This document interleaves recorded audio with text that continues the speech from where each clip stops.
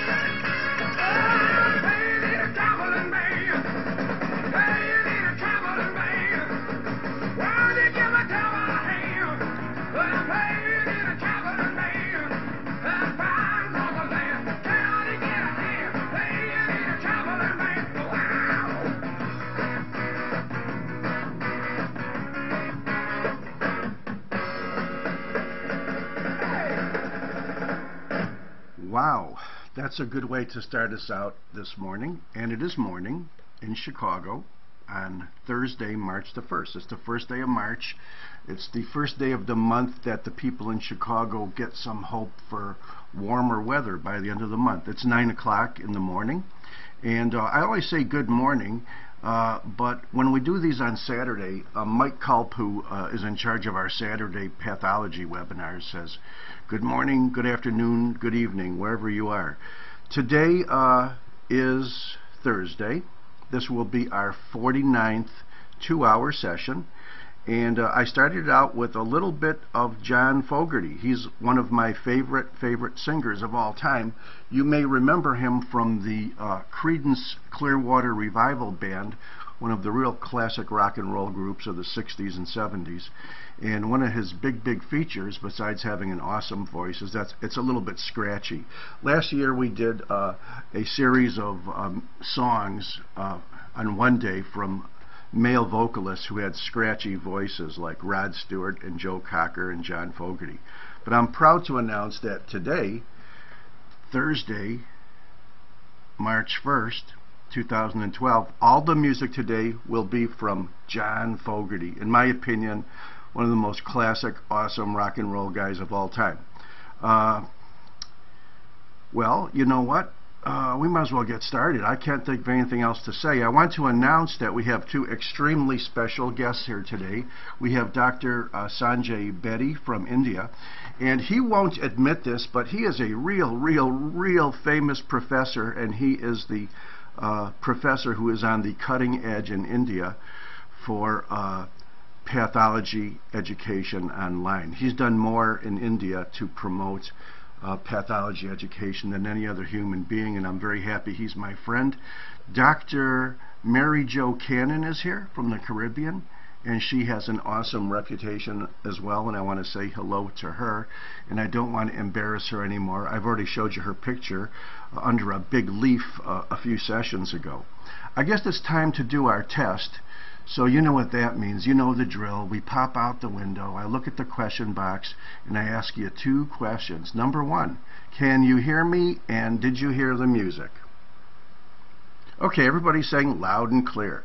Okay, uh, second question is, what do you see?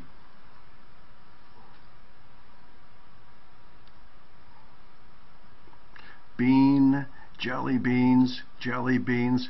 Well, I could tell most of you are not from the United States because everybody's saying jelly beans, and they are jelly beans, but if you are from the U.S., you might call it by its proper name. So another part of our test is going to be to, uh, I'm going to ask you, take a look at the tip of my arrow right now, and tell me if you could actually read those two words right there. And if not, we'll find another bean that has that writing on it. Can you read the bottom word? Yeah, those are jelly bellies. I, this is incredible resolution. If you were in an auditorium now, you would never, ever, ever see those tiny letters.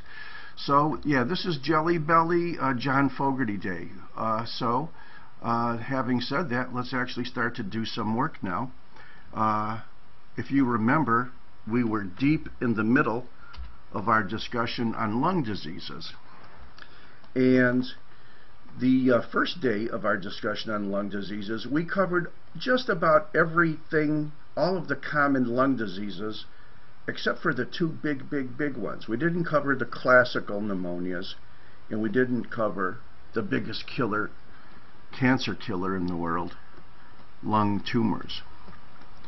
So today, we're going to cover those two big topics. I was hoping to cover the uh, section, the relatively small section on vascular lung diseases uh, before, but we didn't quite get into it, so we'll have to add that to our list of things that we want to uh, talk about today. And uh, also, there's a little section on pleural diseases. Maybe we'll get all this done today if I don't goof around and take too many side trips. So I might as well start the engine right now. If you remember the last topic in our lung one day were the vascular pulmonary diseases.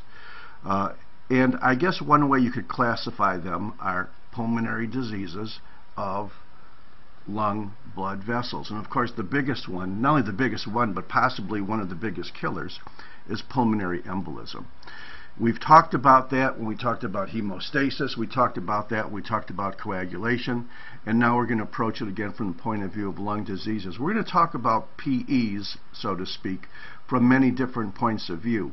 Uh, we're also going to talk about a very, very common condition occurring in the lungs called pulmonary hypertension, uh, generally caused uh, by the more advanced chronic obstructive and restrictive lung diseases.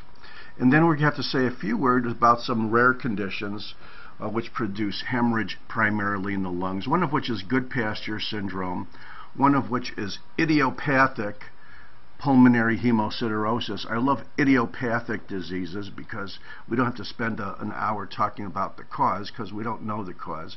And then something we've mentioned before, under uh, vasculitis and uh, immune disease is Wegener's granulomatosis, also producing uh, very often a very hemorrhagic picture in the lung. So let's talk about possibly one of the biggest killers in the world, PE. And PE is not a primary disease unto itself. It's the result of blood clots forming almost exclusively in the deep veins of the pelvis and the deep veins of the leg.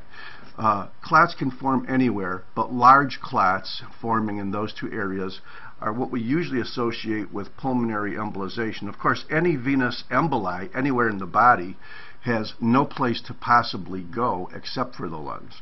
The ones that are of clinical significance are of the deep veins of the pelvis. And sometimes you'll see large uh, thromboses superficially, and we are always cautioned that even though they can cause a lot of local problems, a superficial venous uh, thrombus with resulting embolization is usually not associated uh, with significant pulmonary emboli. Of course, pulmonary emboli themselves are usually asymptomatic. So by the time a pulmonary embolism produces the classical symptoms of hypoxia, pain, low PO2, it's usually significant in size.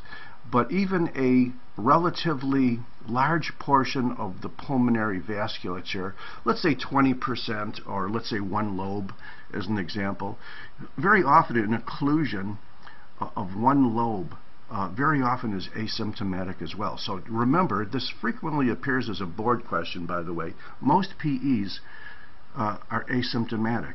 you know, most hepatitis is asymptomatic.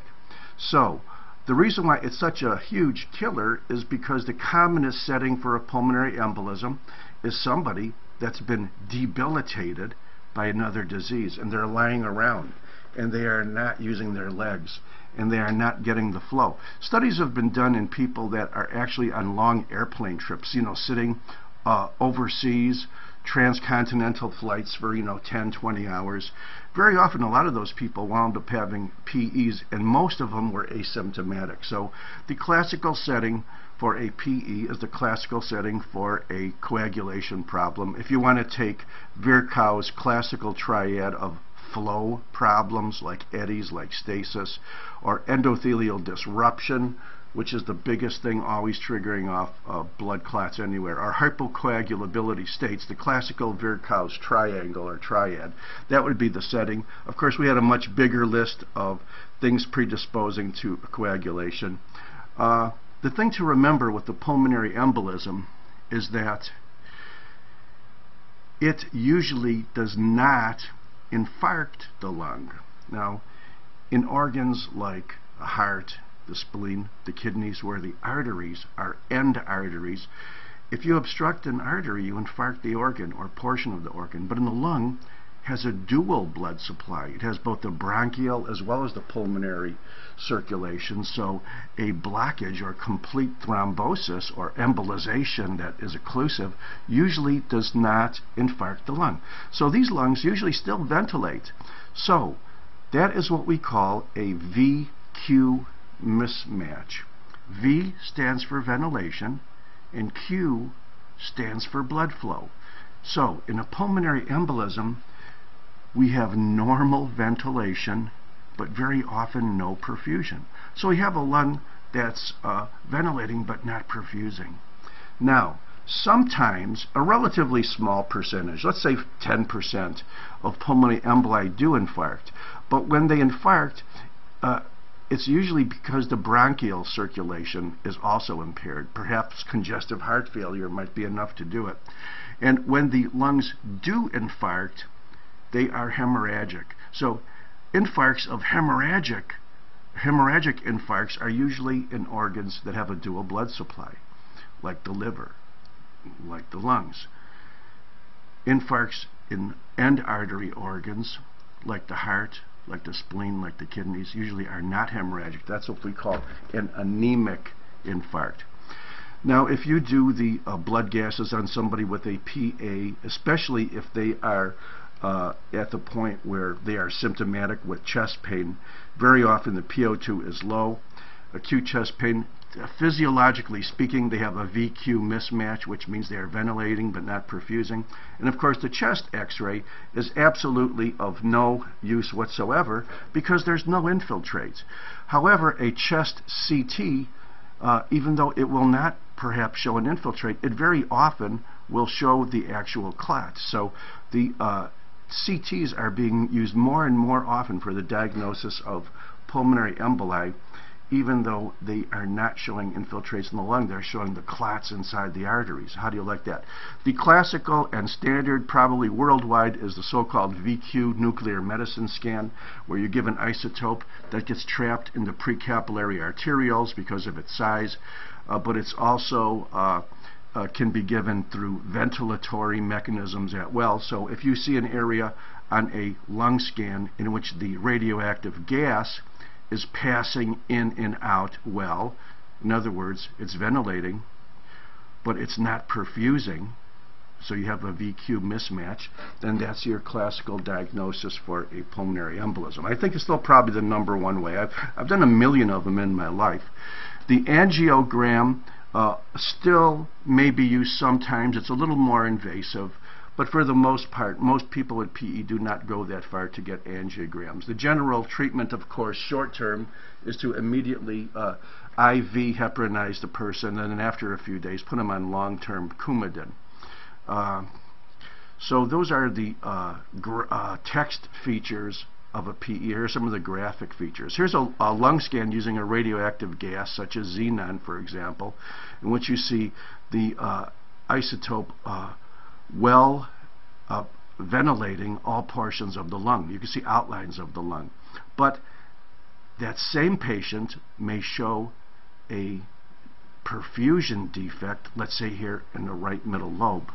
So even though the right middle lobe doesn't perfuse because you see a big defect because the perfusion agent shows that the artery is blocked, it's still ventilating normally. Of course, if it happened to be infarcted, that area wouldn't be uh, ventilating either, would it? And furthermore, if it was infarcted, hemorrhagic infarcts show increased densities on a chest x-ray. So you might see an infiltrate. But remember, before we had these fancy perfusion scans and CTs, the classical feature of a pulmonary embolism diagnosis would be a person that does not perfuse a portion, a lobe, or even a segment of the lung, depending on how you projected it and it would still have no infiltrate whatsoever. So an infiltrate due to an infarct or a pneumonia produces both a perfusion as well as a ventilation defect, which shows up as an infiltrate somewhere in the lungs. A pulmonary embolism without infarction shows a normal lung scan. So this is a case in which a normal chest x-ray, I'm sorry if I said lung scan, this is a case in which a normal chest x-ray adds to the diagnosis of pulmonary embolism, you know, rather than shows you something abnormal. Here is a uh, CT scan. Of course, there's no infiltrate around this little uh, blood vessel here, which shows a blood clot, but it very, very nicely precisely identifies the clot. Here's what we call a saddle embolism. And of course, it looks really, really big because it's laying over both uh, uh, of the main of the main pulmonary arteries going to the right and the left. As you would guess, the reason why this is an autopsy specimen is because most saddle emboli, acute saddle emboli, are fatal because you're obstructing 100% of the pulmonary vasculature, theoretically. Now, uh, the general principle is, is if you obstruct more than about 60% of the lungs uh, perfusion activity acutely, it's probably going to be fatal. So as you could guess, obstruction of only one lung or even one lobe usually does not result in a, a fatal pulmonary embolism and supposedly with time that thing could resolve. Uh, I've seen patients walking around with an entire lobe being uh, non-perfused due to an embolism, and they are very, very not likely to be symptomatic. But if they are symptomatic, they usually have acute, sudden chest pain. Uh, the next topic of vascular lung diseases is pulmonary hypertension. Now, if you remember, we talked about the whole family of the chronic obstructive lung diseases, in which we had increased crepitance, decreased density. We talked about the chronic interstitial pulmonary diseases, diseases which resulted in loss of normal compliance. But we said that these are basically chronic diseases, and they're the result of many, many conditions, like cirrhosis. It's an end-stage situation, both of them. And this is the setting for pulmonary hypertension because the general rule is not only in the chronic obstructive pulmonary diseases, but even in many of the chronic interstitial lung disease, the endpoint is pulmonary hypertension. Now, there can be uh, a congenital form of uh, congenital heart disease in which you have pulmonary hypertension. If you remember, we talked about the left to right shunts. Well, when you have a left to right shunt in a baby's heart, and all of a sudden you have massively increased pressure on the right side, that's pulmonary hypertension, is it? And basically, that's the greatest fear of uh, the left to right shunt congenital heart things is to develop uh, pulmonary hypertension because once you do, it's a very, very serious situation. Theoretically, recurrent pulmonary emboli can cause pulmonary hypertension due to the fact that a lot of these vessels are being obstructed and the pressure therefore has to increase. And even a single acute large pulmonary embolism will produce pulmonary hypertension, at least briefly, sometimes more than briefly. And if you remember the so-called systemic autoimmune diseases like lupus and of course scleroderma is the big one here you have general fibrosis in the pulmonary vasculature. And when a pulmonary vasculature especially a small artery, becomes fibrotic, becomes narrowed, and anatomically speaking, you need more pressure to perfuse it. So that results in pulmonary hypertension too. Uh, the end result of pulmonary hypertension, uh, chronic, severe, unsustained, progressive, would be failure of the right heart, a condition called cor pulmonale. Now, uh, from a pathologist's point of view, I want to show you a small vessel, an arteriole in the lungs. You're going to say, my God, this looks perfectly normal. And it is. You have a small arteriole. You can see it's about as big and wide open as an alveolus that it's surrounding. But the uh, bottom line in pulmonary hypertension is that these vessels become narrowed. Now, let's talk about the vicious cycle, and it's easy to understand. If the pulmonary arterioles, due to any destructive fibrotic process, become narrowed, you need more pressure to perfuse the lungs. So we have just seen easily where narrowed pulmonary arterioles produce pulmonary hypertension. Now you want to know the other side of the coin? If you have pulmonary hypertension in itself, like a right, I'm sorry, a left to right congenital heart shunt, that will also narrow the vessels because the increased pressure damages the endothelium in the vessels and you have a fibrotic response. So that's what I mean about the vicious cycle. You have narrowed vessels causing hypertension in the pulmonary side of the heart and you have pulmonary hypertension causing narrowed vessels. It's really a very, very vicious cycle, so to speak. And from the point of view of uh, you know somebody looking at these lungs all the time, you generally know that when you see narrowed vessels in the lung, you could think pulmonary hypertension.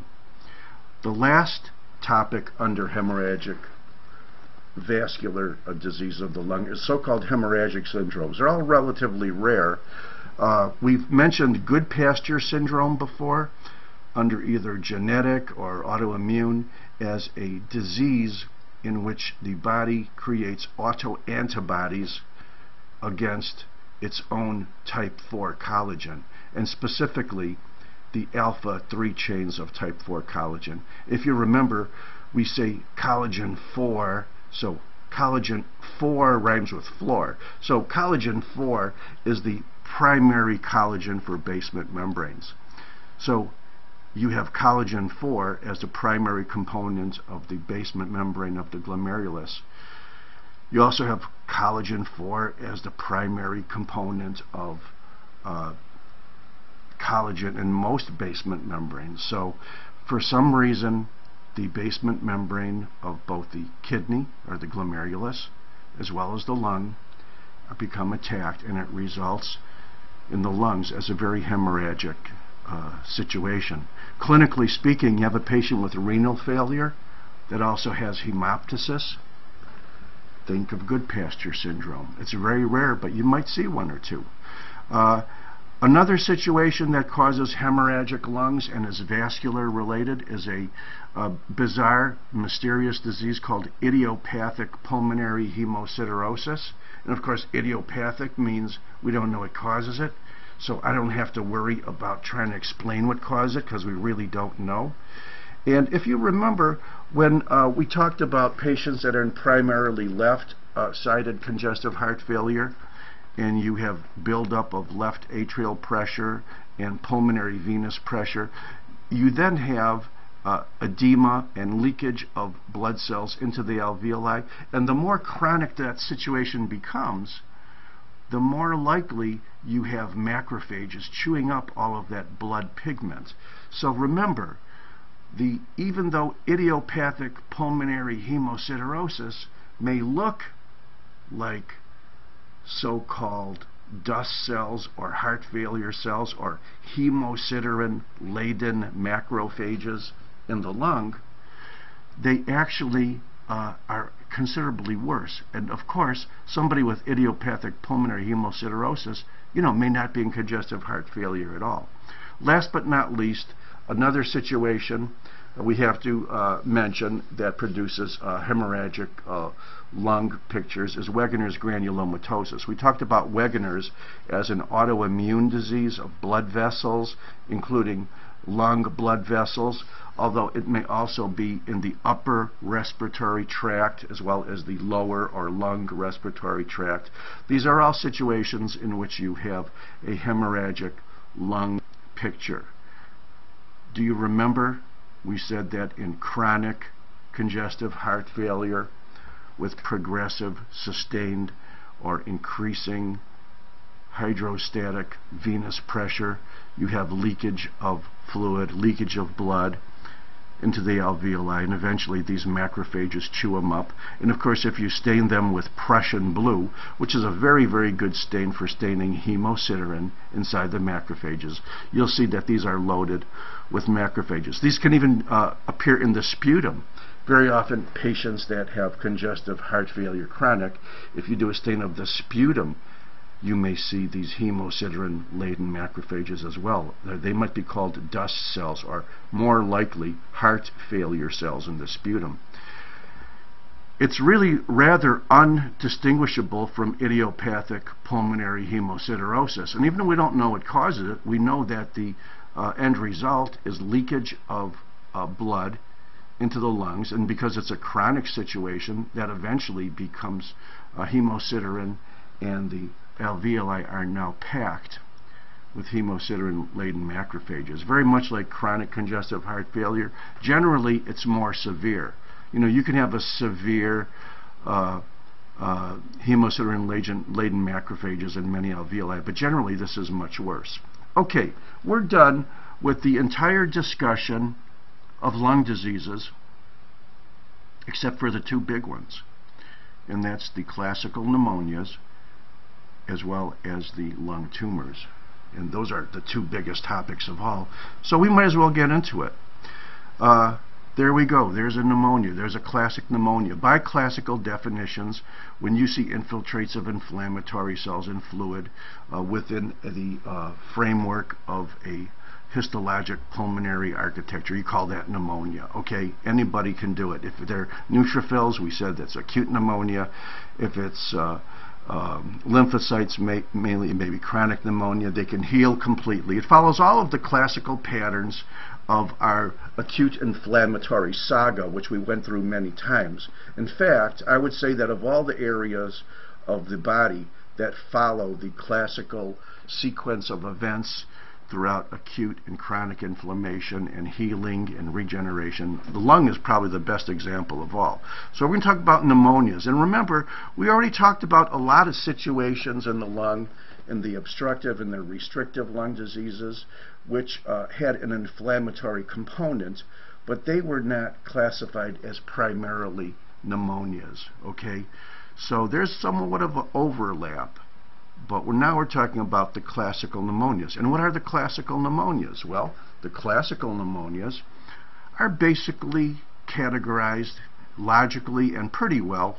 Here's the classification from Robbins as community acquired, which means you don't get it in the hospital, you get it in the community, as well as the nosocomial pneumonias, which means you didn't get it in the community, you got it in the hospital. It doesn't mean you didn't get it from your nose. It means you got it outside the community and in the hospital. The hospital is one of the most awesomely great places to catch pneumonia. Added to the fact that most people that are in the hospital are already weak and debilitated. So if you want to divide the community acquired pneumonias into the classical bacterial as well as the atypical non-bacterial, you could do that. And if you wanted to make a list of the six or seven most common classical bacteria that cause pneumonia, you could write it down or remember it, or someday you'll be treating it because these are all very common types of pneumonia. Strep pneumonia, the classical one, always at the top of the list. The classical producer of a lobar type of pneumonia in which an entire lobe is inflamed and may be quite distinctly separated from a normal lobe next to it. Haemophilus, the primary pneumonia in kids. Moraxella, one of the commonest types of pneumonia with people that have chronic lung disease. Although I think Haemophilus influenzae or H. flu is even more common. Staph aureus, you can't deny that. That's everywhere. Klebsiella, uh, Pseudomonas, Legionella. These are all things that are very often acquired primarily outside the hospital. And they're all classical bacteria. They could all be easily cultured. They could all be easily stained. Uh, the ones that uh, cannot be cultured are the atypical or non-bacterial because most of them are viruses. And as you know, the primary viral pneumonia worldwide, without a doubt, is influenza. SARS, se severe acute respiratory syndrome caused by the coronavirus, you know, can also uh, be sometimes a sort of a cause of an epidemic type of pneumonia, as well as the uh, mycoplasma, you know, mycoplasma pneumoniae, probably the single biggest uh, non-bacterial or atypical type of uh, community-acquired pneumonia. There's a few bugs on the list that are very, very, very likely to cause a pneumonia when you're in the hospital. Some of them are the ones you see here, and some of them are not.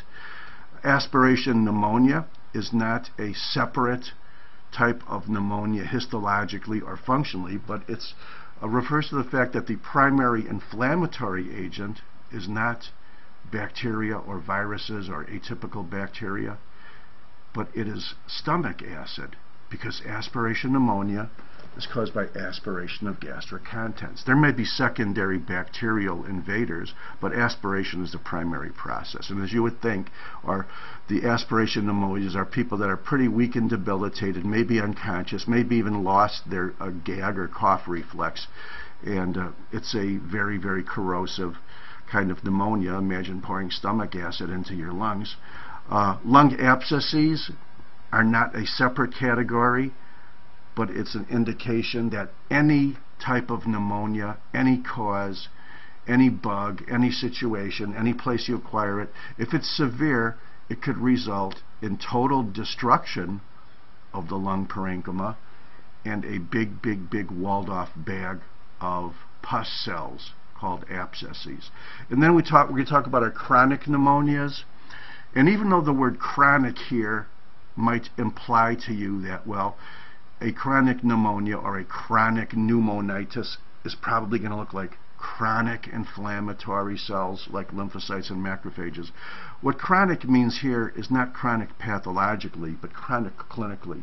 So the chronic pneumonias, the pneumonias people can have for many years, perhaps low grade, uh, can flare up acutely, are generally in the category of granulomatous pneumonias, not chronic inflammatory infiltrates, but granulomatous infiltrates. And those are basically fungi as well as TB. So chronic pneumonias means uh, the typical classical uh, granulomatous pneumonia agents, which is TB and fungi.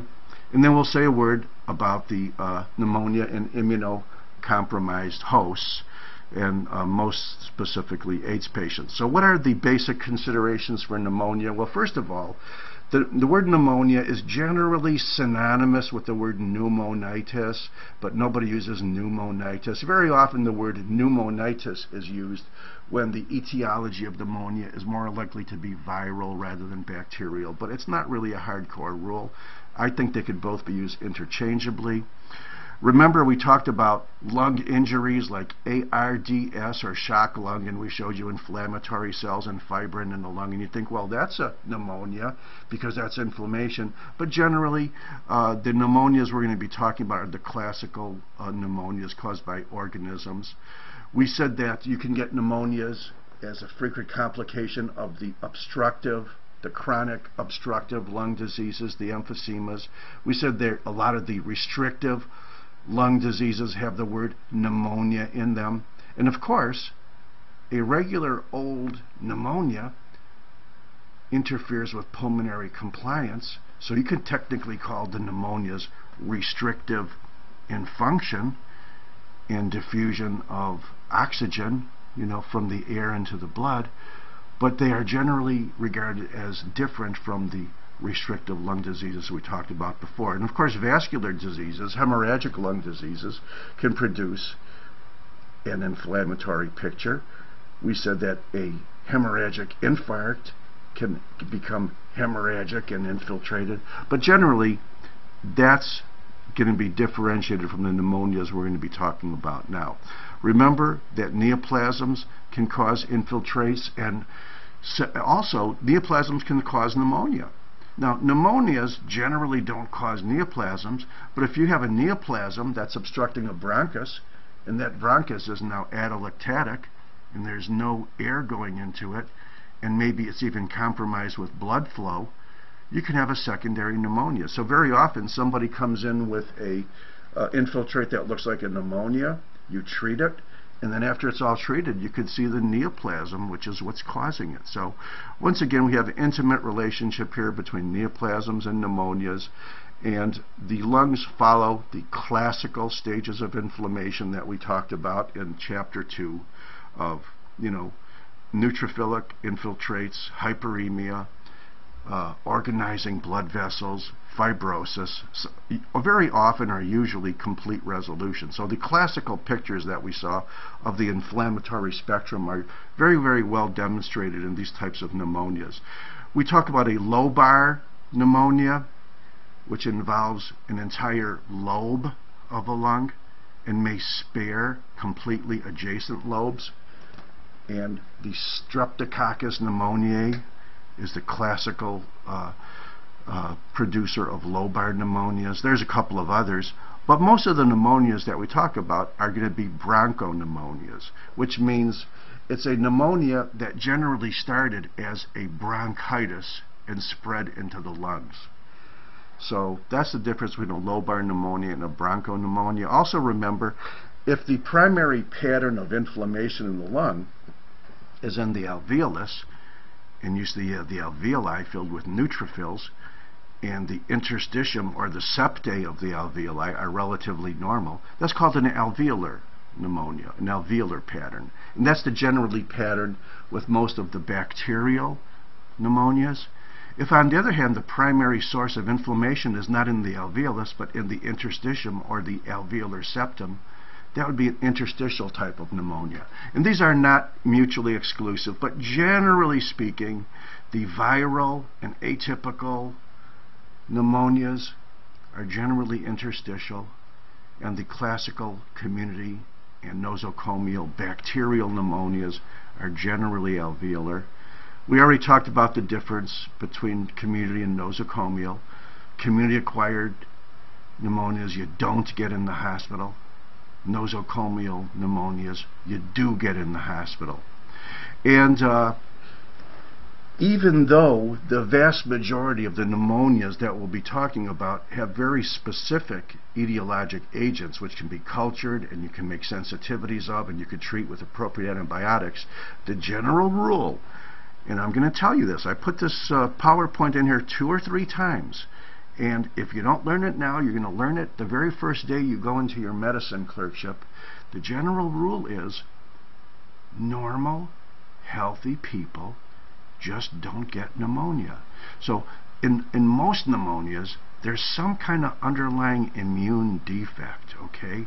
Now, you may be able to cure that pneumonia very easily with the appropriate antibiotic, but you didn't necessarily cure the underlying defect. So that's why so many uh, pneumonia patients come in, they get treated, and bingo, they're back in a couple weeks or two. The two presenting symptoms, classical, you have to tattoo this on your chest, are fever and cough. And the two key diagnostic methods, it's very good if you could have both of them, is a chest x-ray infiltrate and a positive blood culture. Now, we rattled off a bunch of organisms that can cause pneumonia, but I want to tell you something. I don't think there's been a single bacteria or virus or fungus that at some time or another has not caused a pneumonia. So remember, any organism can cause a pneumonia. And of course, pneumonias or pneumonitis are identical with the term lower respiratory infection when you have an infection in the trachea or higher, That's called an upper respiratory infection. So what are some of the predisposing factors that might result in a pneumonia? Well, if you just think about it, if you lose your cough reflex and you're not clearing your tracheal bronchial tree of potential pathogens, that's a very, very big factor. Uh, decreased mucin. You know, mucin is very good for keeping that tracheal bronchial tree uh, protected from bacteria and ciliary function especially if you have situations genetic or otherwise or squamous metaplasia if you remember in which you're replacing normal ciliated epithelium with squamous cells that's also a big factor you know that when we talked about the chief cells of the alveolus, we said that the macrophages are the immune scavengers. If you have something wrong with macrophages and they can't keep those alveoli nice and clean and gobble up potential pathogens or real pathogens, then that's another predisposing immune factor. And there are diseases which are result in all of these. And if they are, they're going to cause pneumonia. And also remember we said that anything that does not get normal blood flow is a setting for pneumonia. Remember, even uh, an infarct is almost always secondarily infected or inflamed. Another general principle is anytime there is a airflow impairment, that that sets the state for pneumonias as well. So what's the principle? Here's the principle in pathology, and you'll never read about this in the textbook. The principle is this. Any tubular structure in your body through which blood or air or urine or feces or bile or anything flows, if that flow is impaired with and there's obstruction or stasis, it's going to be a setting for an inflammatory response. That's one of the number one principles of uh, inflammation and pathology. And here's something I'm going to show you three times. We've said it twice. It's going to say you're going to hear it again and again. Uh, even though uh, we talk about pneumonia as one of the commonest causes of death, it does not occur in healthy people spontaneously. And when pneumonia is a cause of death, if you look at the top causes of death, pneumonia is always high up there on the list in the top three or top five. Um, it's usually a situation uh, in which there is something else that's uh, underlying. Usually any chronic debilitating disease, renal failure, heart failure, cancer. What happens with patients that have these advanced diseases? Well, they lie around. You know, first of all, they're uh, subject for pulmonary emboli, but also it's a setting for pneumonia as well.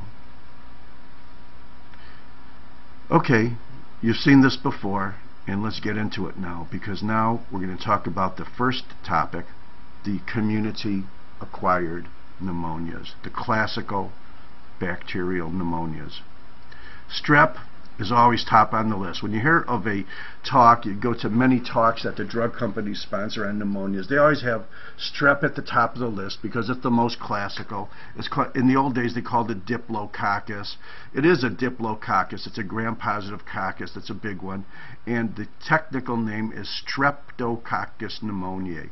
That's the classical cause of a lobar pneumonia in which an entire lobe can be completely inflamed and one adjacent to it is perfectly normal.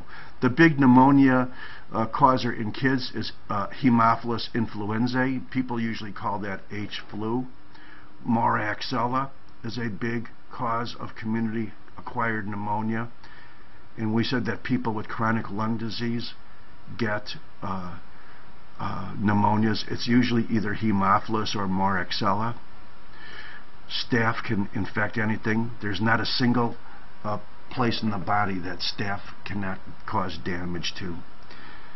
Klebsiella, a big cause. Pseudomonas, also on the list. And a bug which was not even heard of until a couple generations ago. And then when a big outbreak occurred at a Legionnaire's convention uh, through water droplets, it then became prominent as a Legionella pneumonia. And now Legionella pneumonias are in the top 10 list for community acquired pneumonia. So let's talk about the first one.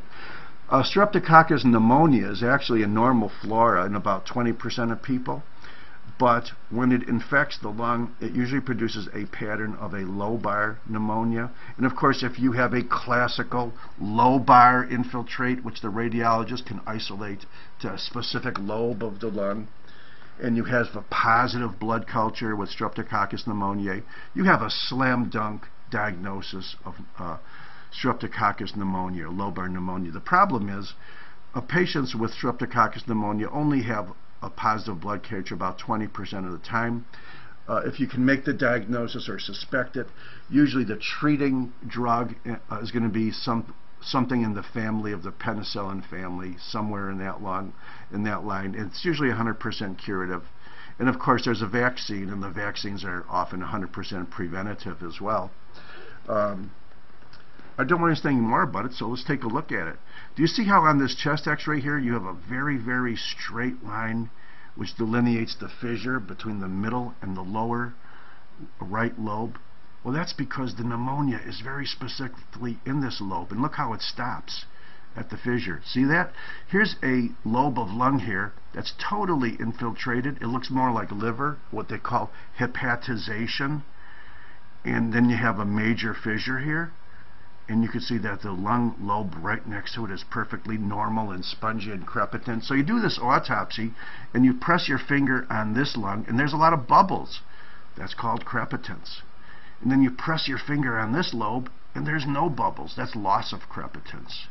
So we said that uh, almost every infiltrative disease of the lung, which results in loss of crepitance, is most likely going to show up as an infiltrate on chest x-ray as well, because what the radiologist sees on his x-ray with his eyeballs, the pathologist feels with his thumb. Now here's a bunch of alveoli, and as you can see, even though we're not zooming up higher power, they're just loaded with neutrophils. And look, the septae between the alveoli are relatively normal in thickness. So this would be considered an alveolar type of pneumonia. Now, if there were very few cells in the alveoli, but the septae were infiltrated and thick, that would be called a uh, um, more of a, not an alveolar, but an interstitial pattern of pneumonia. Here's a sputum or a smear you can see numerous neutrophils. And look, you see gram-positive balls. Diplococcus. There's a pair there, there's a pair there. Some of them are individual, but most of them are in little groups of two. That's why it was called Diplococcus.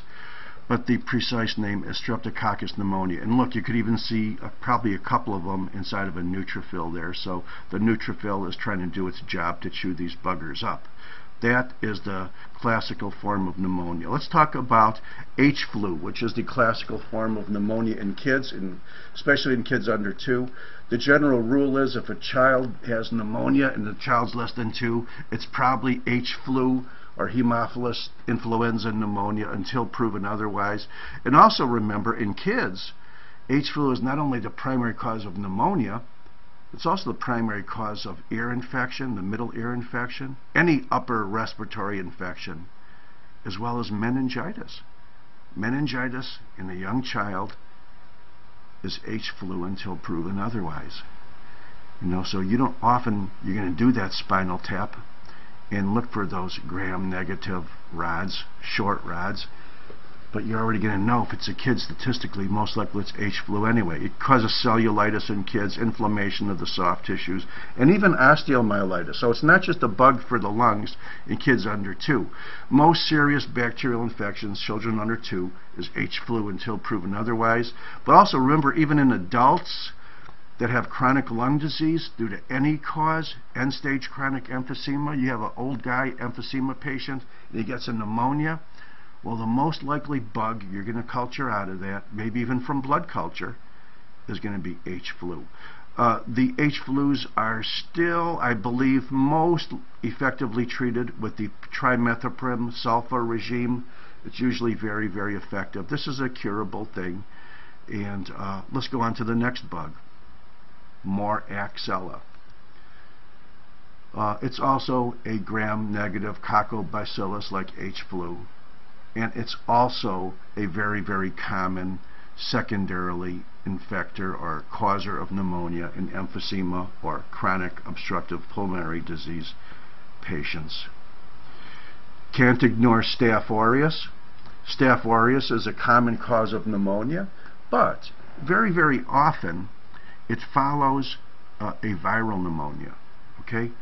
Just like viral skin diseases like chickenpox. When you get chickenpox and become infected with pustules, it's not the virus that's causing the pus, it's the bacteria, it's staph.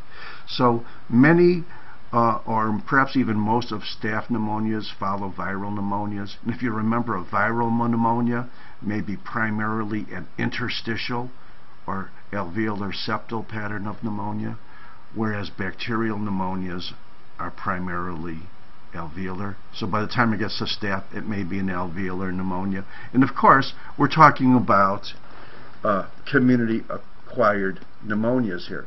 Remember, the number one bug of nosocomial or hospital acquired pneumonias is not only Staph aureus or SA, but it's MRSA, methicillin resistant Staph aureus. And that's the greatest fear. Every time you go and visit your friend in the hospital and you walk in through the doors and you take your first breath inside that hospital, you've probably inhaled a couple of MRSAs. MRSA is uh, really, really bad because not only is it a staph aureus, but it's resistant to the usual types of drugs which are used to treat staph pneumonias or methicillin. And it's really a epidemic which is totally out of control. And whenever you have an infection control meeting in a hospital, it's very often the main topic of discussion is going to be MRSA because it's the number one nosocomial pneumonia. Okay, what about Klebsiella? Another bug, gram-negative, rod. Klebsiella pneumonias uh, primarily or often occur in patients that are debilitated, malnourished.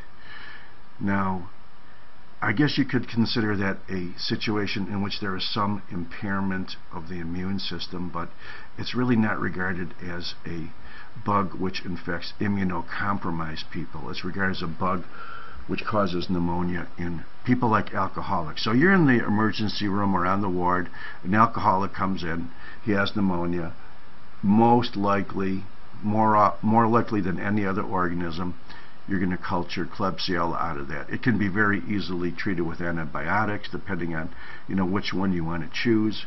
But remember, Klebsiella pneumonia often associated with uh, alcoholism. What about Pseudomonas? Now Pseudomonas, remember, is generally not a community acquired bug, but it's generally a nosocomial or hospital acquired type of pneumonia. But why are we mentioning it here under non-nosocomial? It's because it's the primarily uh, bacteria which causes pneumonia in cystic fibrosis patients. Remember when we talked about the uh, pediatric diseases, we showed you a picture of uh, pneumonia in a cystic fibrosis patient. It has sort of a greenish pus aspect to it, that greenish um, uh, appearance is so common for Pseudomonas. And also, there's a, there's a particular odor, I wish I could give it to you uh, online, but there's a certain odor to Pseudomonas, as once you smell it, you'll remember it forever. So, you know, you could you can sometimes walk into the room of a person that has a Pseudomonas pneumonia, and even if you were blind, you could know what the organism was. And certainly in the lab, when they are culturing Pseudomonas, it has a very distinctive odor as well. Okay, we can't ignore Legionella, even though a couple generations ago it was unheard of. The bug is called Legionella pneumophila. It loves to uh, infect the lungs. And uh, the thing to remember about Legionella, it usually occurs in outbreaks. It usually does not occur as a single person. In the first uh, historical outbreak it occurred in oh, it's probably what 20, 30 years now, was in a big uh, Legionnaires convention, which a lot of people got sick and even died, and they found out that the bug was actually spread through water droplets in the ventilation system. So Legionella, community-acquired pneumonia, and it's often very lobar as well. Remember I told you that Streptococcus uh, pneumonia is the primary lobar pneumonia. The Legionella is very often lobar as well. And of course, like all pneumonias, it's more likely to infect an immunosuppressed patient. But remember, and I got a little asterisk there, so if we go back to slide 61 or 74, they're identical slides. So we'll go to slide 74. And let's talk about this again. We're going to talk about very soon the concept of uh, pneumonias in immunocompromised patients.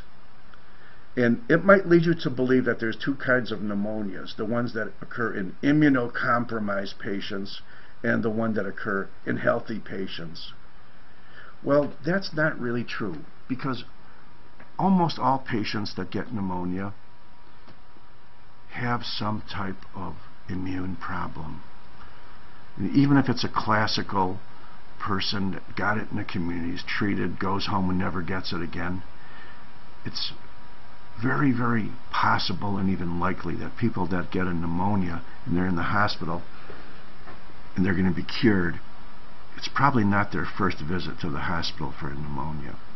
Let's talk about the pathology and the morphology of these so-called acute classical bacterial community-acquired pneumonias now. Uh, like the books, an acute pneumonia characterized by hyperemia, infiltration of neutrophils. With time, perhaps days, you have macrophages coming in, cleaning up the material. The uh, neutrophils are chewing up the bugs and other dead tissues. Very often you'll have the ingrowth of blood vessels, which we call organizing. You may have some chronic inflammation or chronic inflammatory cell infiltrates, but generally the picture of an acute community hospital pneumonia is something that generally heals with full resolution. It's like the acute inflammation saga, you know, perfectly, uh, a perfect example of it.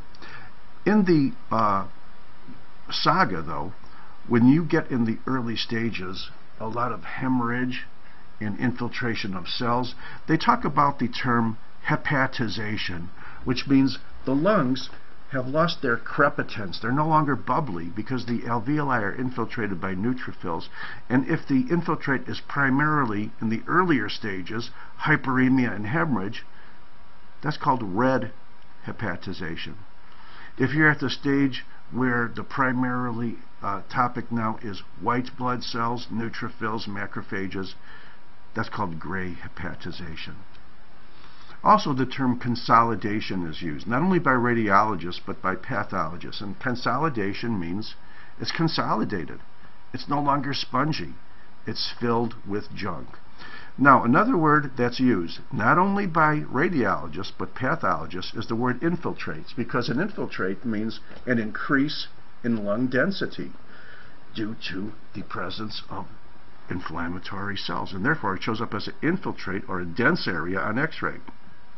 On the other hand, when the pathologist looks at that same area under the microscope, he sees infiltration of lung alveoli and tissues by inflammatory cells. So the word infiltrate has a double meaning, doesn't it? And of course, uh, a very pathology-specific term is crepitance. Pneumonias have loss of crepitance, loss of bubbliness. In any disease which shows an infiltrate on a chest x-ray, will show up as loss of crepitance in the pathologist's fingers. Okay, let's see where we are time-wise. Well, we're about uh, halfway through, and it's halfway through uh, on the hour as well, so we're going to take a 10-minute break, and then maybe we'll be able to finish up uh, the rest of the discussion on pneumonias and, you know, maybe even lung tumors. We'll see. I guess I could go faster, but I feel like I'm going at a very good rate. So before we take the break, let me ask him my usual questions. And the first question is, uh, have I been going uh, too fast, too slow, or about the right speed? I feel like I've been talking fast, but I don't think you'll feel I've been going fast. Okay, I'm getting general satisfaction. Second question is, did anybody have any audio or visual problems here as well today? Okay, I didn't either, so let's take our 10 minute break. And remember, today is John Fogerty Day, so everything we hear during the break and even at the end of the break is going to be by this great rock and roll classic hero with a scratchy voice.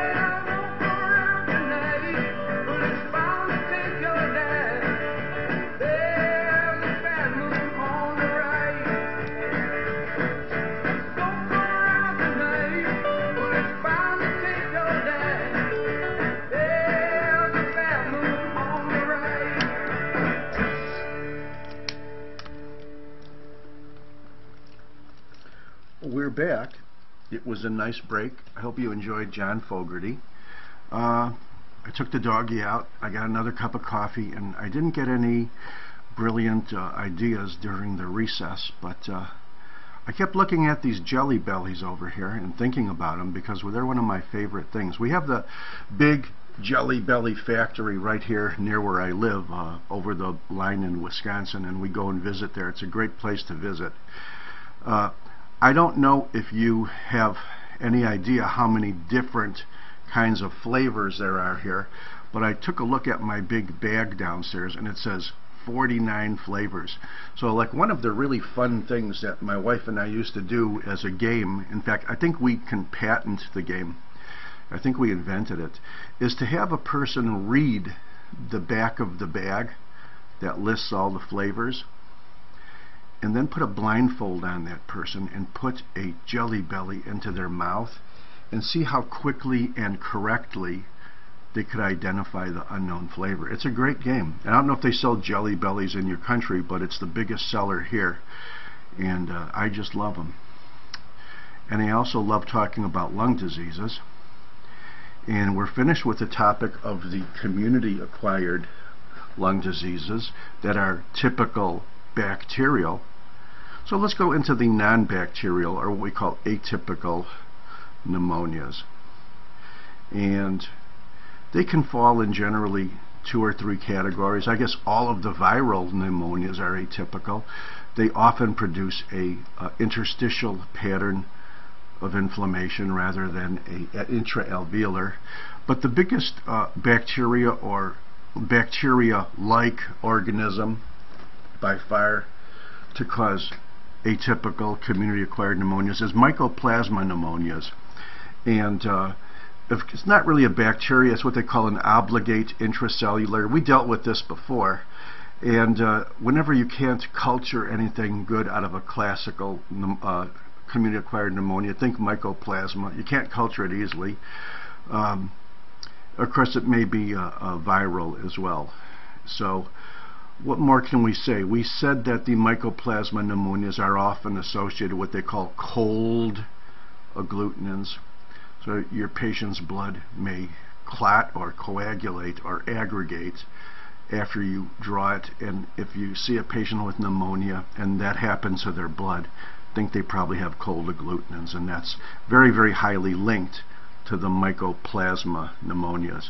Now the atypical or viral pneumonias if you remember, we saw this picture where the primary pattern of inflammation is here in the uh, alveolus and the walls of the alveolus. In other words, the interstitium or the alveolar septae were relatively uh, normal in size. But up here, look how thick they are. You don't have much by way of uh, cells inside these air spaces, but you got a lot of uh, fibroblasts and scars. And remember when we talked about the histology of the lung, we said that there are what they call these interstitial cells, and some people link them or regard them as fibroblasts because they make collagen. So in the viral pneumonias, very often, the pattern uh, is for these fibroblasts, especially in the chronic stages, to uh, make increased amounts of collagen and thicken the wall. And if you know this is going to result in reduced air transfer functionally.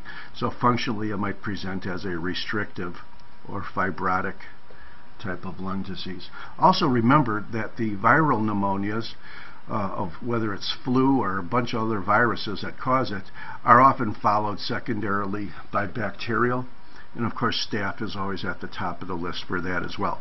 Here is uh, the number one viral pneumonia, biggest, one of the biggest killers historically, massive epidemics. A large portion of the world's population died in the early part of the 1900s. There were pandemics of type A influenza virus in 1915, 1918. There's different strains, A, B, and C. Most of the pandemics were type A. Most of the ones we worry about now, like avian flu, swine flu, and stuff like that, these are all type A. There's, you should know that there's a type B and C as well. They're primarily in kids, and of course the exact strains, which of course we need to identify if we're suspecting an outbreak. Uh, can always be done very precisely by polymerase chain reaction. Uh, I don't think I want to say anything more about the influenza. Uh, very often, if you look at a chest x-ray like this, even me, you know, I'm not a radiologist, I'm a pathologist who doesn't know how to read x-rays, but you might say this is a normal uh, lung, because look how nice and sharp the fields are. But a radiologist would say, well, you know, in this right lower lobe, there's a subtle increase in density. There's an infiltrate here. So this is an infiltrate of a pneumonia. And remember, it doesn't mean it's viral. It doesn't mean it's bacterial. It doesn't mean it's community acquired. It doesn't mean it's nosocomial. An infiltrate is an infiltrate is an infiltrate.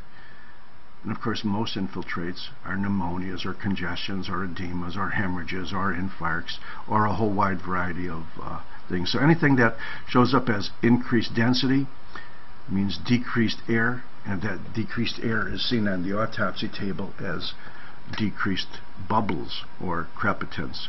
Another viral pneumonia uh, occurred in China 2002 there was an outbreak. Some people died. At the time there was a big big big fear this could be a major worldwide thing. I don't think it ever wound up being that but there was a lot of concern. There were some cases you know all over the world. SARS we talked about adult respiratory syndrome. We talked about neonatal respiratory syndrome and SARS caused by the coronavirus another viral pneumonia was uh, acronym was properly termed severe acute respiratory syndrome, also a viral pneumonia.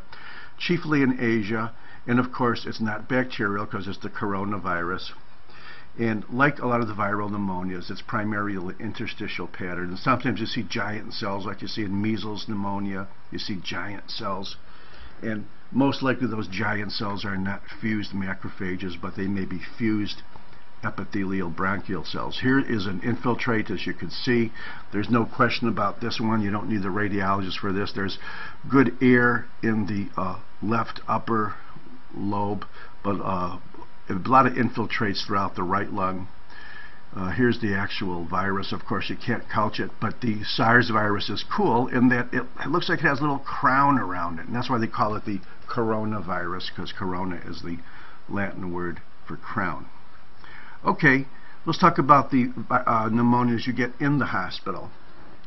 And this is a great, great, great topic for lawyers, you know, because that's how they make their money is by suing people that are trying to help patients. And of course, hospitals have the big money, so that's what they're going after. There's probably the average lawyer knows more about nosocomial pneumonias than the average doctor does. And a nosocomial pneumonia is acquired in the hospital. It's also called hospital acquired rather than a community acquired. And the setting for a nosocomial pneumonia, of course, is a person that's in the hospital. And patients that are in hospitals are already debilitated. They're already weak. They're already chronically ill. They may have other bigger diseases, more serious diseases, cancers, strokes, heart attacks. Um, they are subjected to a wide variety of instruments going in and out of various holes of their bodies, catheters, ventilators. Any of these can transmit bacteria. Now, statistically speaking, the most common bacterias that would result through these various methods in nosocomial pneumonias would be Pseudomonas and Enterobacter. But that is nothing compared these two gram negatives is nothing compared to staph. And not only staph, but methicillin resistant staph. And why are methicillin resistant staph in the hospital? I'll tell you why.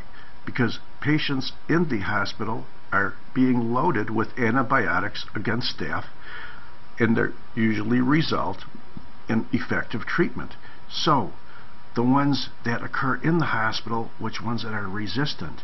So it's almost impossible to attend a hospital uh, infectious control meeting and the word MRSA isn't thrown around a couple dozen times. That's the big one. But remember, I'm going to rattle off a little list now and not go into them very much about the other classical causes of nosocomial pneumonias. We've already said Pseudomonas. Okay, Klebsiella is on the list. E. coli is on the list. Strep pneumoniae, and remember, strep pneumoniae was uh, uh, the cause of one of the biggest community-acquired pneumonias. It's also on the nosocomial list. And remember H. flu in kids and in chronic lung disease patients? That's also on the nosocomial list as well. So it's not uh, like a case of, you know, these organisms cause community and these hospitals cause acquired. There's a lot of overlap here. And you have to add to it the fact that the people that are in hospitals are not only subject to bugs, which are resistant because of all the antibiotics used there, but they're generally debilitated, weak, sick, lowered immunity for whatever brought them into the hospital before they got the pneumonia. What about aspiration pneumonia? We said that that was primarily a situation in which the cause of pneumonia was not a bacteria or a virus or a fungus or a obligate interest, but it was stomach acid. So people that have aspiration pneumonias are patients that aspirate gastric contents. They could be patients that are unconscious. They could be patients with prolonged bed rest.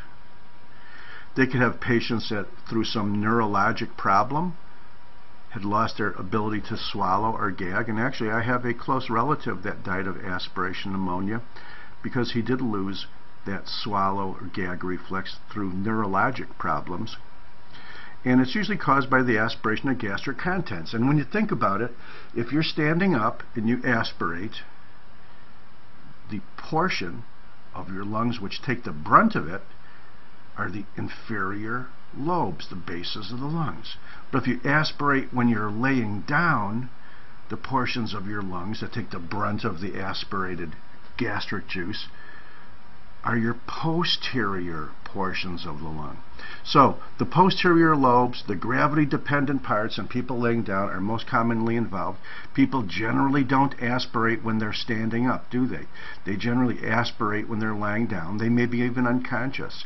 And technically, if you look at the most gravity dependent portion of your lungs, it's the superior segments of the lower lobes. It's also the area that is the most likely to start out with a TB pneumonia as well, but that's just another thing.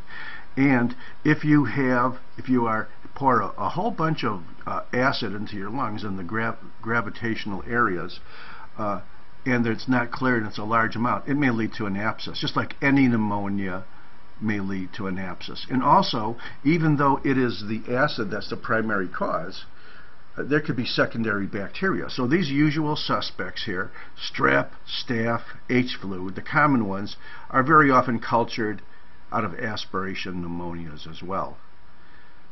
But the diagnosis of aspiration pneumonia is basically a diagnosis of how they got it, you know, rather than what organism is causing it. And remember, these organisms don't cause it, they just complicate it. Okay, when you get a person with aspiration pneumonia, chances are they've been in the hospital, they've been unconscious. It's not unusual to have a very lousy looking chest x-ray like this because they have tubes and everything. And uh, uh, they often can't go uh, well enough to go to radiology and stand up and have a nice thing. They're often this is a probably a decubitus position. You could see that the uh, lower lobes, the bases, these so-called costophrenic angles are nice and sharp. So these densities, if you're able to get a good uh, lateral view, and sometimes you really can't, would be primarily throughout the posterior portions of the lungs, and especially you know, the lower lobes. So what is the greatest area of density? Maybe it's here and maybe it's here. And from an AP projection, that's most likely to be the posterior portion. But once again, you wouldn't want to bet your life on it. It's better to just get a nice lateral view. A lung abscess is not a type of pneumonia, but it's a complication of any type of pneumonia. We said they're very common with aspiration pneumonias. You can see them with septic embolization. You can see them when there is a big neoplasm in the area obstructing blood vessels or invading blood vessels, obstructing or invading airways. Uh, that's another setting for a lung abscess. And remember, the lungs are not by themselves. They have an esophagus nearby, they have a spine nearby, they have pleural surfaces, both visceral and parietal. They're right on top of the diaphragm. So inflammations uh, in any of these areas can result as spreading to the nearby lungs as well. And I don't want you to think that lung abscesses are specific for certain types of pneumonias. I want you to think like a pathologist, and I want you to remember that any pneumonia, which is severe enough, prolonged enough, destructive enough, or untreated enough, is going to result not only in infiltration of the lung parenchyma, but destruction of it to form a real specific walled off area which we define as abscess. Take a look at this. Here's a nice picture I got from our virtual microscope. Uh, you could see at the periphery of this area, you can still see outlines of alveoli. You can see infiltrations of inflammatory cells into alveoli. And if you look here, I think you could see maybe there's still some structures of alveoli. But look, as you go towards the center of this very well-defined uh, inflamed area, you can see that you have loss of alveoli. Maybe there's a couple remnant here and here, but right in the center of the abscess, there's no alveoli, total loss. Now, if this was properly treated, could you have regeneration of alveoli back into that area? And of course, the answer is yes. And furthermore, very often in abscesses of the lung, when you see an area like this, you take a look and you say, whoa, that doesn't look like tissue. Very often it might be a, a piece of a carrot. You know, if this abscess was caused by aspiration material, you can also have fragments of partially digested food as well. Another thing that's characteristic of abscesses, and you could see up here in the northwest, is it looks like there is a thick fibrous area trying to wall off the abscess. Whereas here in the southeast, you can see it is not walled off. So the question would be, if this abscess were to spread, what direction do you think it would be more likely to spread in? The fibrous capsule walled off area or the part that isn't walled off? And of course, you know the answer to that. If this is going to get worse, it's going to spread to the southeast rather than the northwest. That's that's not that's not even pathology. That's logic. Let's talk about the chronic pneumonias, and I have to make a, a little caveat here. We talk about chronic inflammation as something that may follow acute inflammation, and we talk about it consisting primarily of chronic inflammatory cells, like chronic inflammation anywhere, which are basically lymphocytes and macrophages. But in the classification of chronic pneumonias, the word chronic is used clinically, not pathologically. So a chronic pneumonia is a pneumonia that's not necessarily filled with lymphocytes and macrophages, but goes on chronically, perhaps many months or even many years. So what are the pneumonias that are generally smoldering? And of course they could flare up, but they are chronic in the temporal or the time consideration drawn out rather than chronic by way of seeing chronic inflammatory cells. So, I'll tell you a nice little tip here. And it, I don't know if it's a coincidence or what, but what Robbins and most of the textbook classify as the chronic, clinically, temporally chronic pneumonias are generally granulomatous diseases. And if you remember, when we rattled off the list of granulomatous diseases, we always have TB at the top of the list. We have fungi second. We have sarcoid third. And we have foreign bodies as fourth. That's the classic causes of granulomas. But uh, the uh, infectious ones, the ones you can culture, not sarcoid, not foreign bodies, but TB and the classic systemic fungi, the three biggies, histo, blasto, coccidio, histoplasmosis, blastomycosis, coccidiomycosis, the classic three systemic fungal infections, often primarily in the lung, but definitely not limited to the lung, are the general differential diagnosis of chronic pneumonias. And remember, chronicity means time. So let's take a look uh, at them. We have already touched on TB from uh, many aspects, and we're not going to go into that uh, much further. Uh, here we see a middle of a granuloma with histiocytes, and you got some nice red rods stained with the acid fast stain.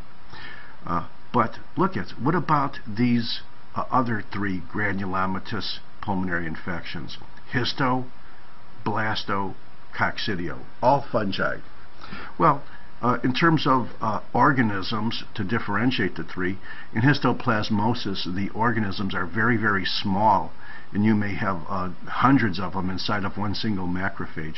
In blastomycosis, you have big spherules. It's a fungal disease. It's not hyphal, it's yeast. You have these big cysts or uh, large balls which are considerably bigger than several cells. And of course, coccidio, you have more. The difference between blasto and coccidio from a morphologic point of view is that if you look at your 10 uh, micron uh, lymphocyte as your yardstick, the spherules or the stained fungal balls in coccidio are generally smaller than blasto.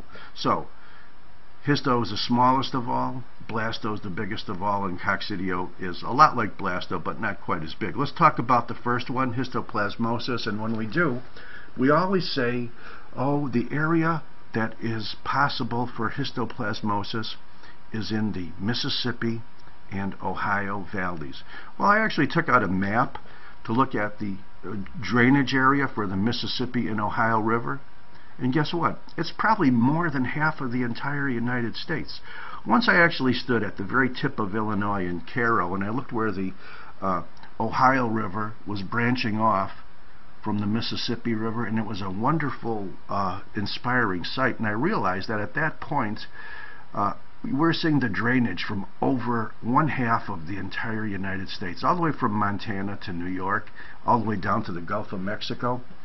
And uh, so it's not like a very limited area. So you get histoplasmosis over anywhere. The organism's name is Histoplasma capsulatum. And like all of the systemic and often pulmonary fungal diseases, like all of them, it mimics TB, not just because it's granulomatous, but even clinically. TB granulomas can calcify, especially with time, but with histoblastomycoccidio, they often calcify early, and they may be very specific. So pulmonary granulomas is the feature. You know, it can flare up. It could be fatal. You know, they love to go to the adrenal glands, too, for some reason. And remember, don't think of the systemic fungi as primarily lungs. They can go just about anywhere. Here's a histoplasmosis. Here are the little organisms. This was actually taken from a beautiful picture that somebody gave us from the pathology forum on the internet. It's the best one I've ever seen, much better than any textbook. I forgot the pathologist's name, but I, I really want to thank her for showing us this. Here are the little organisms inside of macrophages. Look how small they are. They're very tiny. They're about as big as a platelet. Okay, and here are the calcified granulomas. Look at they're all over the lungs on CT, and you see how dense they are? These are calcified. Okay, this is very suspicious for histo, but you know the other fungals can do it as well. Here's blasto now. Blasto is similar like the others, also mimics TB clinically, and also granulomatous like TB. Also, the fact that I misspelled the word there, uh, it can involve primarily the skin, it can involve systemic areas, often the lung, and the thing about blasto is uh, they have spherules, which you could stain with the usual fungal stains, and they're much larger than the ones you see on coccidio. And where's the distribution area for blasto? Well, guess what? It's worldwide. But in the United States, again, it's also in the Ohio and Mississippi valleys, which is most of the United States. And blastomycosis, or the more benign form, whether it's North American, South American, often can affect primarily the skin and soft tissues. So here's blasto. Once again, if you're a radiologist, you would say, no, not only is this generally infiltrated, but I'm seeing a lot of very, very specific little densities. Maybe those are granulomas. Of course, on CT, you'd probably see them much easier. And look how big these spherules are. You know, there's probably, oh, let's find a 10 micron lymphocyte. Probably here. So these are like 20, maybe 30 microns. And of course the PAS stain or a silver stain, which stains from inside of these granulomas, uh, would be good. Uh, of course now you could even do more specific things in terms of PCR and blood cultures and so forth. But this is what uh, be the classical way to confirm that this chronic granulomatous, maybe calcifying pulmonary disease is uh, blastomycosis. Here's coccidio, very similar to the other ones. Once again, spores in the soil. Uh, it also mimics TB. The organism's name Coccidioides immitis. And guess what? We have finally changed our geography now. Whereas histo and blasto are in the Ohio and Mississippi valleys, this is usually in the southwest. A lot of people in Arizona, New Mexico get this. Um, and they're pretty tiny organisms. They live in macrophages, but they are can be stained as well, and they're not nearly as big as the big balls that you see with blastomycosis. So think blasto, big balls. Here's a granuloma, and this could technically be due to any TB or fungal disease. You don't really see any balls here or anything because it's just a regular H&E stain. You can say it's non-caseating. You can say that it has giant cells. And um, remember, granuloma in the lung could be any systemic fungal, it could be TB, or it could even be sarcoid. And of course, your cultures and the stains which you do to try to identify these fungi or acid-fast organisms are the ones that will make the difference. Because clinically, they all may behave quite similar in that the lung is a primary target, but they can go everywhere. So let's talk about the pneumonias now in compromised hosts. And when we say compromised host, it means immunocompromised, and we always often are talking about AIDS patients. And uh, if you were to ask somebody what are the three major pneumonias that AIDS patients get, they would always put pneumocystis at the top of the list. AIDS patients all harbor pneumocystis, even if they don't have pneumonia. Uh, it's in their lungs, and very often they're taking uh, antibiotics, uh, often um, mist or inhalation, just to prevent them from flaring up.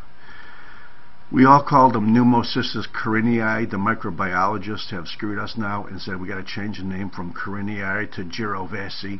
And sometimes the students remind me of that, especially the micro ones, but I will always call it pneumocystis carinii. I'm sorry. You know, when they change the name of Cook County Hospital to Stroger Hospital, I refuse to uh, uh comply with that as well.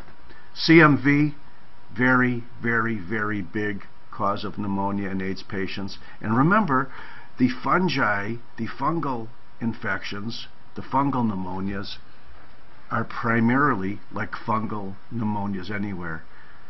They're usually immunocompromised hosts, and there's no exception here either.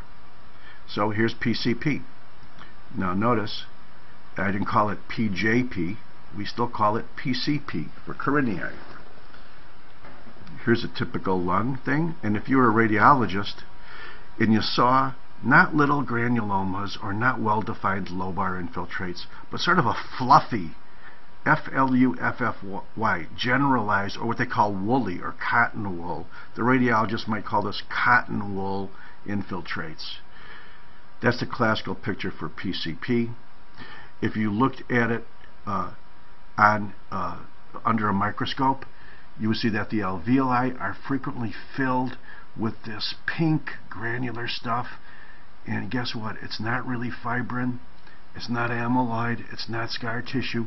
But it's a pink, also fluffy or woolly infiltrate which when you look closely looks like there may be harboring some tiny little organism. This is PCP. This is pneumocystis. And the thing I want to mention is that not only is the word cotton wool or wool used by the radiologist, very often these infiltrates are called woolly exudates or fluffy exudates by the pathologist as well. And of course, if you've seen a million of these, like I have, and you see something like this in an alveolus, you instantly think of PCP.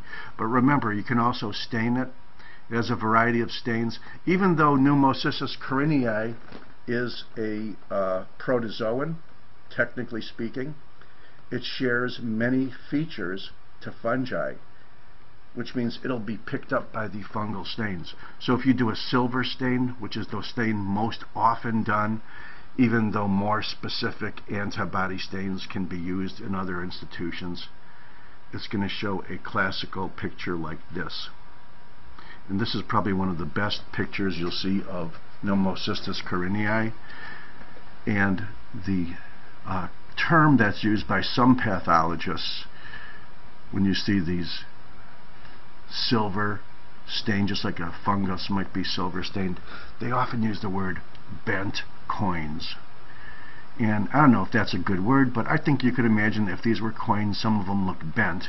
So I've heard some of the pathologists use the word bent coin appearance. So the methenamine silver stain confirms your suspicion for pneumocystis when you see it as a woolly intraveolar exudate like you see here.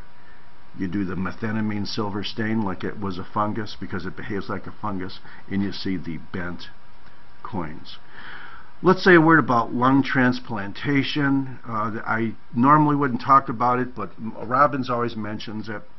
Um, patients that are uh, have lung transplants due to any reason, and generally they may do a uh, lung transplant on a younger person who they think has a good chance of benefiting from it, but they're also going to be immunosuppressing these patients as well. So uh, instantly a, a, lung transplant patient is by definition immunocompromised, and they may wind up getting all the pneumonias that immunocompromised patients get. Uh, the um, Not too many end-stage chronic emphysema patients may get lung transplants, but if they're younger, perhaps childhood emphysema, they may get one.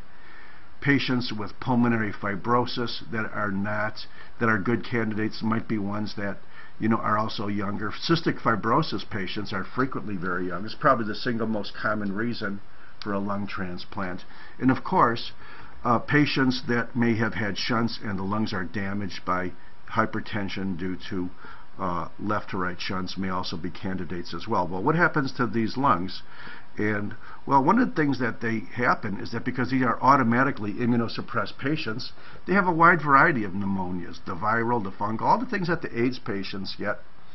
Um, an acute rejection is usually characterized by a pneumonia, and the word acute here now means time patient with an acute lung rejection, uh, usually rejected within a few weeks, maybe a couple months. The chronic rejections is generally what happens to most of the lung transplants, okay? Uh, it's not likely that a lung transplant given to a young person is going to last them the rest of their life and they're going to die of, you know, something else 30, 40 years later. The statistics are about half of the patients with lung transplants will have some sign of chronic rejection. And histologically, if you remember when we showed you that thing that was called COP, or cryptogenic organizing pneumonia, in which you saw granulation tissue growing inside of the bronchi, which we called bronchiolitis obliterans, because the bronchus was actually obstructed. That's a general pattern that we see in chronic rejection. Okay, here is another picture of it. Here's a lung. You can see that there is sort of a organizing, uh, uh, sort of a vascular, sort of fibrous uh, proliferation of cells obliterating a uh, bronchial lumen here. You know it's a bronchial lumen because you can see a, a lining of uh, ciliated columnar cells, and that's typically what you might see. Okay, we're done. We're done with every single thing in this chapter except for the biggest and most important one, which we save to the end. And the neoplasms are always saved to the end, and that's lung tumors. And uh, I think I could probably do this in a half hour. The problem is we only have 15 minutes. So, what are we going to do? Well, I'll tell you what we're going to do. Let's do some introductory statements and uh, probably in 10 or 15 minutes we'll wind it up. And not only will we finish the discussion on lung tumors and also a little bit on pleura for the next session, but we'll also have a nice lab, perhaps the entire next session, where we'll show lung tumors, pneumonias, uh, and combine that with the uh, finishing of the discussion on lung tumors. Well, lung tumors could be benign, malignant, epithelial, mesenchymal, like any tumor can. But the sad fact is, most lung tumors are malignant and most lung tumors are epithelial. In other words, they're carcinomas. 90% of lung tumors are carcinomas. They happen to be the biggest killer in the USA. And even though in men the biggest uh, prevalence is prostate, and in women the biggest prevalence is breast, these are not as lethal as lung cancers, okay? Carcinoma of the lung unfortunately only has a 15% five-year survival overall. Now there's a lot of factors to that, mostly staging, but also cell types. But that's very, very, very dismal.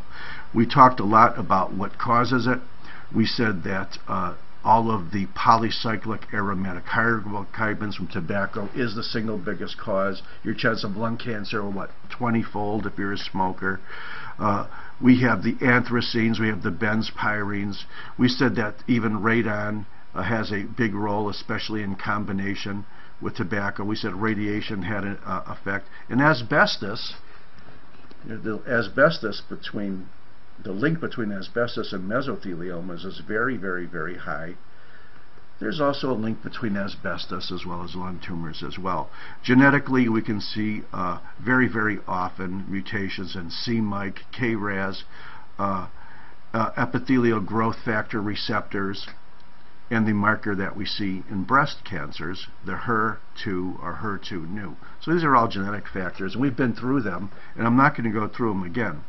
But What I am going to say is that the pathogenesis of a classical epithelial lung malignancy is something that also should not be surprising either. I want to tell you that most of the lung cancers are what we call the non-small cell lung cancers arise from bronchial epithelium. And here's a nice picture we had from our virtual microscope. Look at, you could even see a little bit of cartilage here, can't you? So this is a bronchus.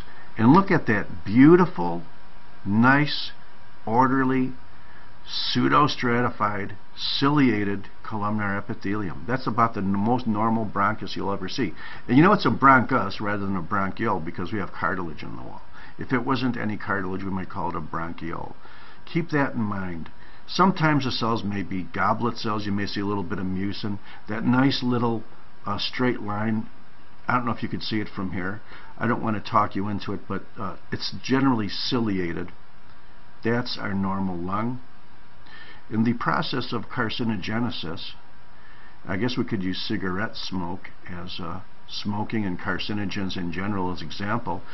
Here we have an increase not only in goblet cells or mucin, but look, you can still see the cilia. But look, you now have a change in which the pseudostratified, ciliated, single, simple columnar epithelium is now replaced by a uh, stratified type of epithelium and is getting to look more and more squamous. And let's take a look at the next picture now. And here, the entire epithelium is completely squamousized. And that's called squamous metaplasia, the replacement of a simple columnar epithelium by a layered or um, stratified columnar. It even looks like it flattens out on the top. But look, but the nuclei are rather regular. You don't see much by way of atypia. This is metaplasia. By itself, this is not precancerous. But when that metaplasia starts to develop bigger cells, darker cells, look at there's even a mitosis there and maybe there. That's what you call atypical squamous cells. It's also called squamous dysplasia. We are now in a situation that may develop into a cancer, or it may not. It could be reversed. What about this now? Well, not only is this severe squamous dysplasia, but it can also be called carcinoma in situ. The cells are really big, there's no attempt at a maturation, and the thing to remember is it doesn't matter whether you call this severe dysplasia, it doesn't matter whether you call this carcinoma in situ, because now we think of them basically as the same thing. But what you do have to understand is it is limited to one side of the basement membrane. It does not infiltrate. You know, it might be cancer, but it can't metastasize because it hasn't infiltrated. Now what do you think I'm going to show you here? This is fibrous tissue, and these red cells are now squamous cells. And look, you could even see little intercellular bridges between the squamous cells. So that proves that it's squamous. So this is an infiltrating squamous cell. It's a lot redder than it normally is because this is not your usual H&E stain. This is one that's going to emphasize the squamous cells a little bit better. And the nuclei are, look a little bit browner rather than blue. So that's the pathogenesis. You go from a normal mucosa to metaplasia to dysplastic metaplasia to carcinoma in situ.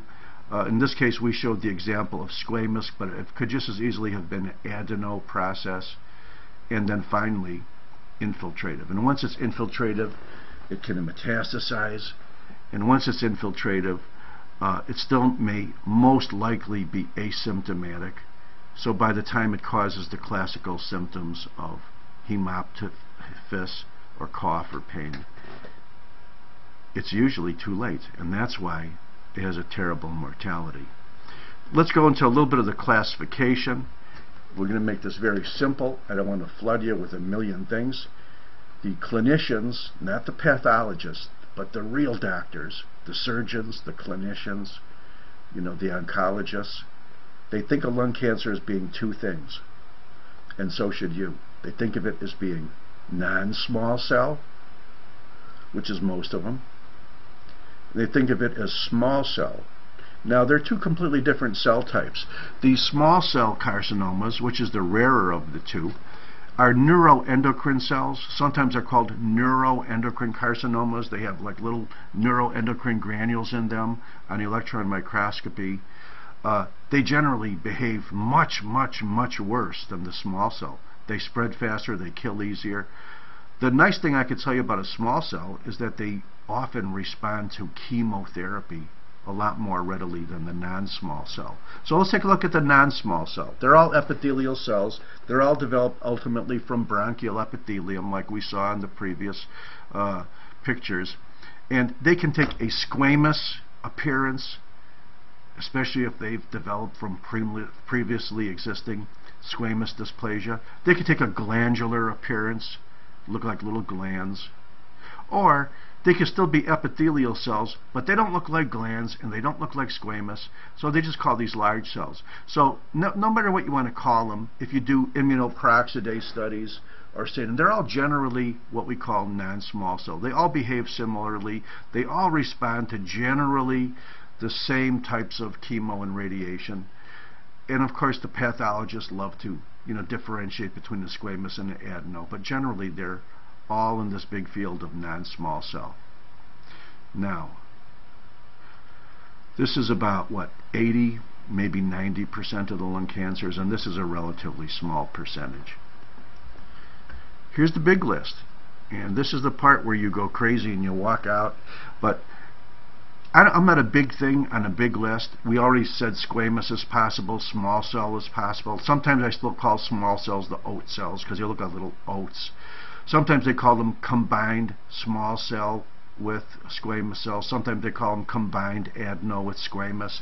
If it's an adeno, they may give it different adjectives of whether it looks like little acini or round circle, whether it looks papillary, whether it primarily looks bronchioalveolar, whether it's solid. Sometimes they call them large cells. We talked about that. And we said that generally the small cells were neuroendocrine cells. But guess what? You can also have neuroendocrine cells in which they're large as well. You could have mixtures of both adeno and squamous elements. You can have not only malignancies with epithelial elements, but combined uh, connective tissue elements or sarcomatoid. You can have a carcinoid tumor, which is also neuroendocrine, but generally regarded as not likely to behave as horribly as the small cell. You can have a typical carcinoid. You can have atypical carcinoid. And of course, an atypical, you think, not only might it behave worse than a typical, be more invasive, but a lot of the atypical carcinoids are now verging on small cell carcinomas. You could say that they look like a salivary gland type, or very often, or not very often, sometimes you just have to say it's a carcinoma We've done a bunch of stains. We've sent it to a bunch of experts.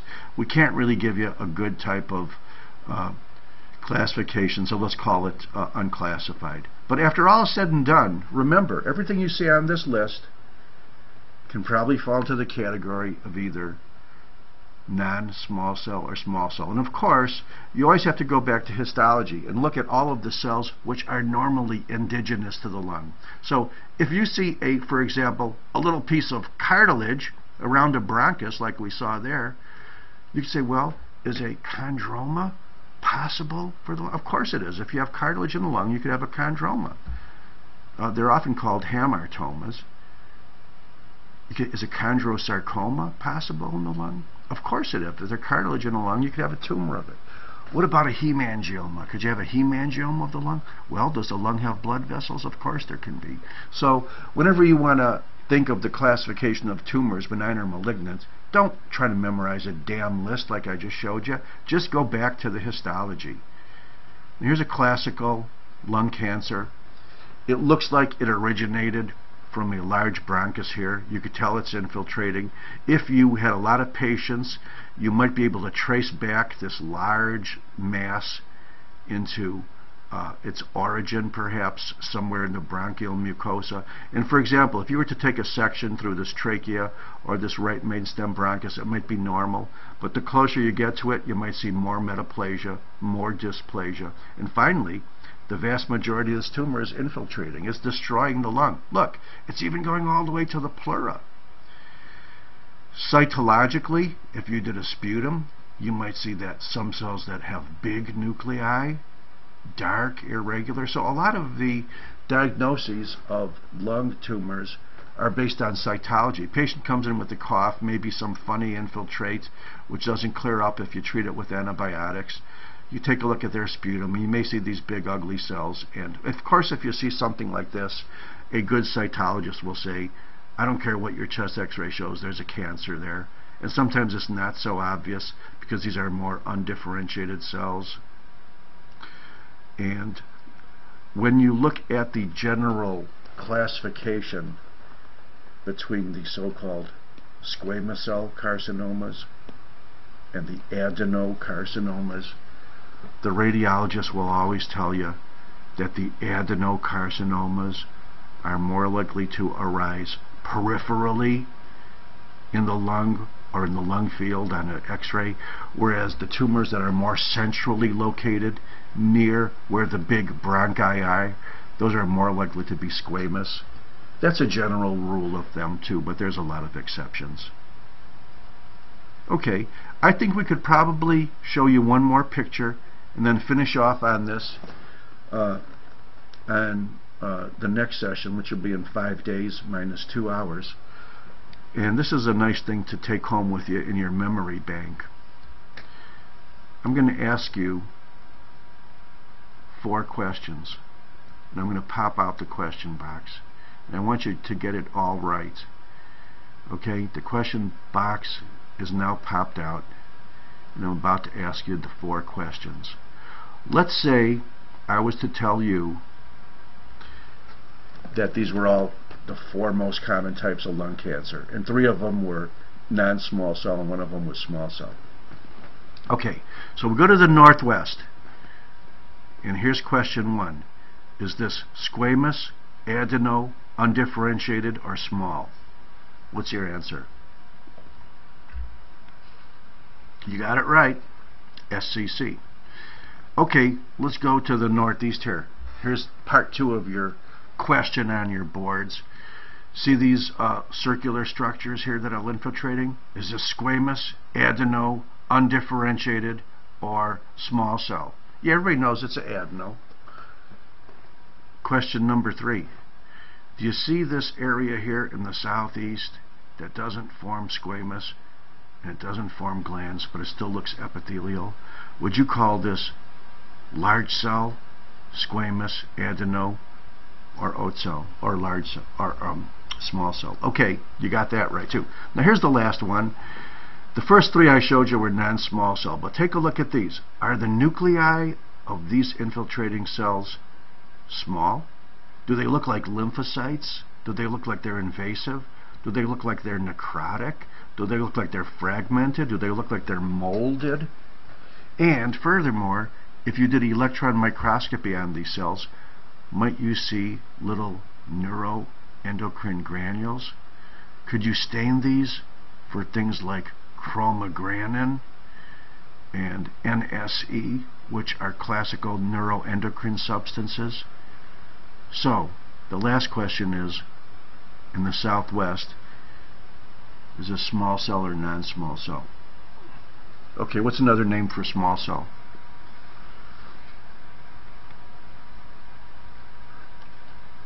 the old timers use it like me. Oat cell. Okay, we're done for the day. Uh, keep this in mind, and then we'll finish up a little bit more on lung, and uh, we'll also finish a few things about pleura and do the lab on the next session. So we could call it a day, and it wouldn't be fair if I didn't pop out the window here and uh, see if anybody wants to ask any questions on um, with their microphone.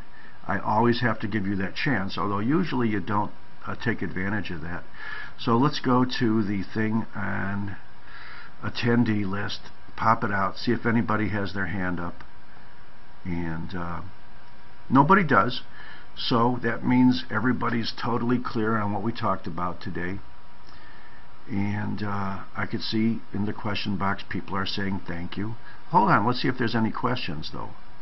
Somebody said, in gray hepatization, uh, are there neutrophils? Yeah, that's the general uh, uh, thing.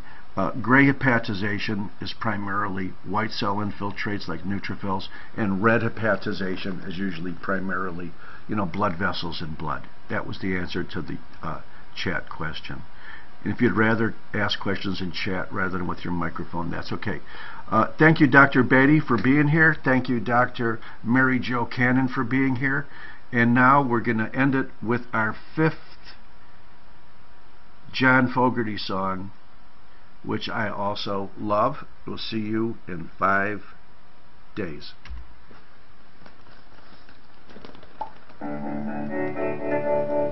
Well, the morning, you hear the work bell ring,